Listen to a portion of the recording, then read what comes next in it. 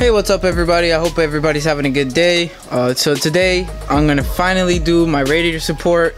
Um, I've recently hit a curb. I was not trying to be DK. Uh, I was just on my break and I just happened to hit a turn by my job and it was really wet and my brake started bouncing so I couldn't really do anything.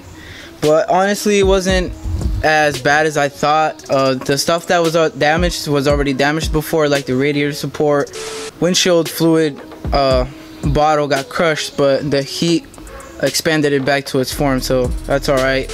And right after I do this video for the radiator support, I'm gonna be installing my new bumper from KBD. I believe it's the N3R. A while ago, I did install it, but it kept touching the ground because of the radiator support and it was broken in the bottom. So every time I went uh, fast, it kept eating up the lip. So I called up KBD and um, they helped me out. So shout out to them. Uh, I'm gonna show you guys right now the radiator support pieces that I got. And also I'm gonna take out the bumper right now and uh, put it in the sun so it can expand. Here's the stock radiator I got. Um actually bought it with the hoses so that's pretty cool. By the way the only reason why I didn't get an aftermarket radiator you know the thicker ones than the stock obviously uh it's gonna be better but um i need to go to work and amazon i don't know why but it said it was gonna get here on saturday but then it said on monday and i've been wasting money on lifts and it's not cheap. So i'd rather just put a stock radiator and then later on the line if i want to put a aftermarket one then i will. But for right now i guess that'll do. All right guys so here's the radiator support. And then i have the bash bar uh supports, I guess you can call them. Uh, and then I have the bumper support. And this long piece, which I believe goes on on the radiator. Anyways, I'm gonna uh, go see how I can jack up my car because where I live it's just horrible to jack up a car, especially because I live in a hill and there's grass. So once I have the car jacked up and everything, I'll hit you guys back up. Alright guys, so I'm right here. We jacked it up. It's not in the best spot, but it'll do. because my driveway is a little funky. But um, my brother's gonna start taking off the headlights. I'm gonna just start transferring everything from the support to the new one. And uh, we do need to change the radiator, so it's gonna be a long one. I'm not gonna explain how to do this. I'm gonna drop a link in the bio to show how to do it from somebody else. We got the radiator support out. Uh, basically just transferred all the bolts and attachments to this new one the most we could. Even if it didn't have a thread we just kind of laid it on top. Uh, as at this moment we're gonna take out the power steering hoses and then uh, put some I'm bringing a bucket right now so we can not spill it on the ground and then we have to flush the radiator. So after I flush everything I'll be right back to see what I'm gonna do next okay so we got the old radiator support out. Uh, I think the hardest part was just to take out those power steering lines through this little hole right here. Uh, you could either just break the radiator support itself or try to squeeze it out like we did. I just tried to squeeze it out just because I didn't want it to smash the hell out of it.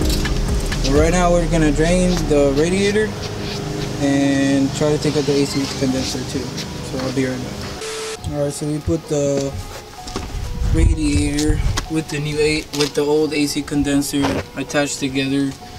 Uh, it took a minute because my radiator that the guy gave me is a little different from the one I had, but it still fit perfectly fine.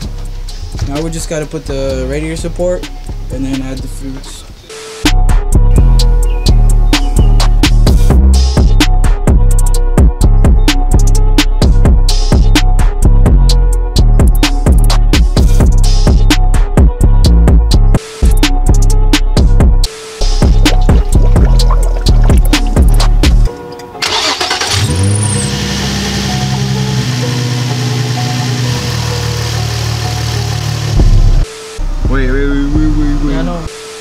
Turn the car on. So turn the car on and start moving the wheels side to side. It's gonna suck it up. It's somewhere around here. The bleeding valve.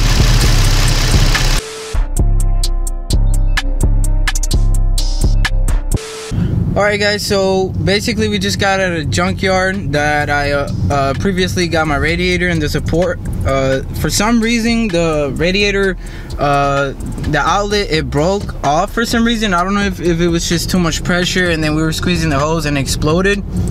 I really don't know what happened but right now we got a, another radiator. This one is also used but it's way newer. I'm going to show you guys how it looks. It looks way better than the other one. I'm gonna do a, a comparison. Um, i still don't know why there's two extra hoses in the bottom because on my first radiator that i broke uh, it didn't have those uh, outlets. I'm just gonna put a nipple over them but uh, i'm about to get back to the house and then change the radiator and then do everything again with the bleeding and then see if it's running good again. So we got the new radiator right here This one's in a lot better condition. Um, it still has these hoses right here. I don't know what they're for. Um, on the original radiator I had, it, it didn't have. So I'm gonna just plug nipples on them like the other one. And then I'm actually gonna use this hose and then uh, take out this hose and use the one that's in the car. This is the one that was giving me problems, so I'm gonna just leave it as is and then plug it up right here.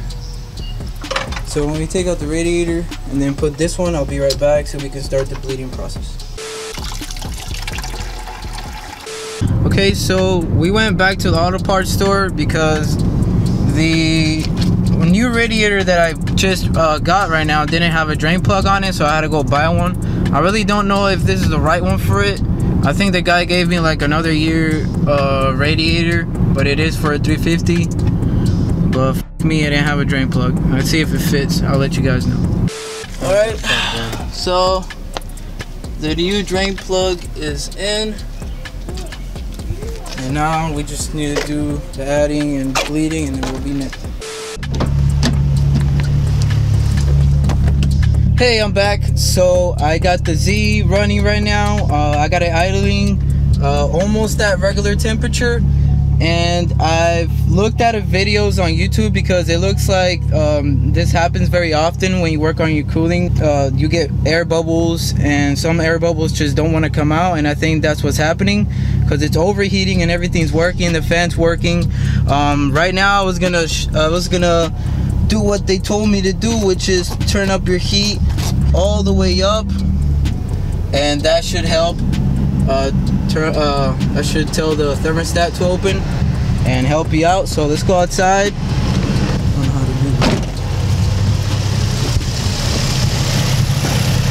Alright, so I got the reservoir and I put it up with a bunch of zip ties and uh, it's working right now and I had to zip tie these uh, holes because it was leaking.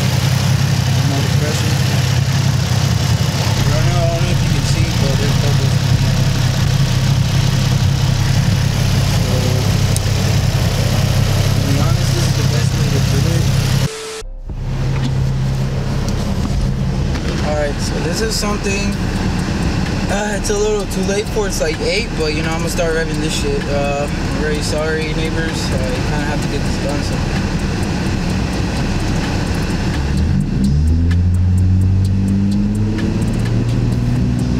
So I'm gonna do that to get all the air bubbles out just to make sure like two more times and then I'm gonna see what happens and hopefully it doesn't overheat and the thermostat opens up.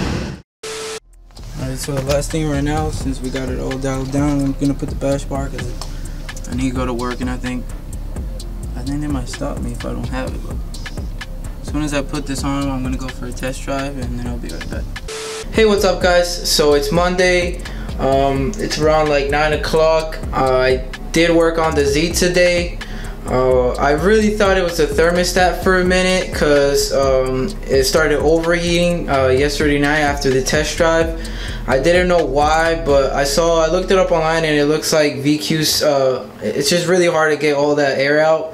So I just put everything back like it was supposed to and then parked it on a hill without jack stand. I just parked it on my hill because it's steep enough.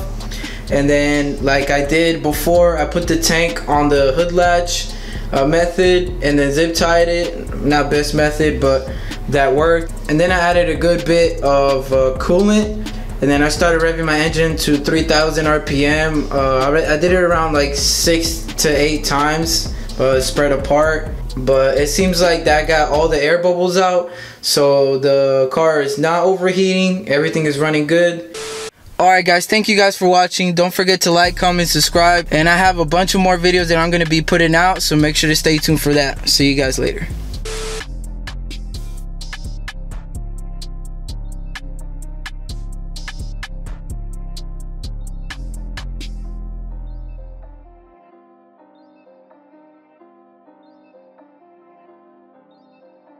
Brandon, it's beautiful. Brandon, it's beautiful. Brandon.